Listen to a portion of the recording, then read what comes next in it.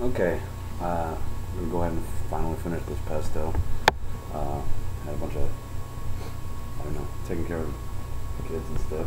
I went ahead and bought my one of the cabs in here. So I'm gonna get a nice stand for the TV. We'll pull that a little bit closer. Alright, so, thing with pesto, it is true what they say. It's, uh, it's kind of hard to mess it up. Basically, just remember to taste with everything. Uh, one, one, one easy trick I'm going to use. I'll just crush this garlic, peeled it. I'm going to mince it up in a blender here and make a paste of that mixed with a little bit of roasted garlic that I roasted earlier. And but then I'm going to still reserve some other roasted garlic for if I want more roasty flavor later. Uh, like I said, got my basil, got my pine nuts, got my cheese.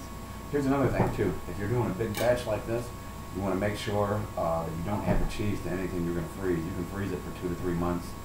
Uh, ice cube trays with saran wrap on them is a good thing because then uh, it's pre-portioned. Uh, pretty, pretty sweet trick there. And I got my processor. So all I'm going to do first is make a garlic paste with a little bit of salt and uh, olive oil with roasted garlic and some fresh garlic. Then I'm going to take that out. I'm not even going to clean the, you know, because it's going to go into the basil anyway. I'm not going to clean the processor. And then I'm going to reserve that so if I need more of a kick at the end, you want to make sure you season uh, at the end so you get it, you know, you want to nail the taste right, you want that taste right where you want it. So if uh, anything you're going to reserve for later, don't put the cheese in till the very end, which I'm trying to make a big enough batch. We got a 13 year old that loves it. I'm trying to make a big enough batch that's going to last uh, till, it- till it starts coming up in spring, I reckon. So a little bit of kosher salt, a little bit of virgin olive oil. I'm going to make uh, blend together this uh, garlic. I'll go ahead and do that actually right now. If I want to get a little bit of action on the video. So like I said, putting all that in there.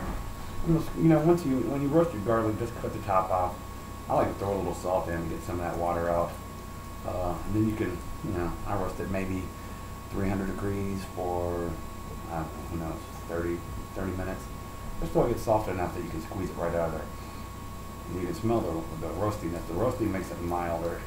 So this uh, fresh garlic is a lot more intense. That's why I'm going to reserve. So I'm going to take it out of here so we don't end up with uh, too garlicky of a, of a flavor. So go ahead and do that. Got a little bit on the pants there. This thing's like garlic, but who cares? Alright, we'll go ahead and take that and then let's get some blending action going. I like to wash my hands a lot.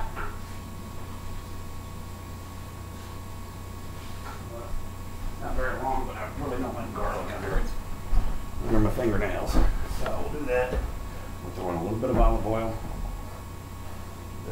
I'll throw it in the beginning, I don't even care. We'll throw it like that. I like to prep a lot of garlic at once too, just so that I don't have to get my hands all stinky with garlic on a regular basis. So, I think that helps break it down. I might be wrong about that. I don't think I made it up. I don't know that, so. So, there you go. Blending action. Open it up, you know, a little bit more of a paste. If you do this once a week, then, you know, you can even hand dice it and keep it in a little baby food jar with the oil. Do it once a week, then you never have to cut up garlic throughout the week. Which cuts down times that you have to wash your hands. Yeah, let's go ahead and just pulse it till it's, because you know it's gonna get pulsed again.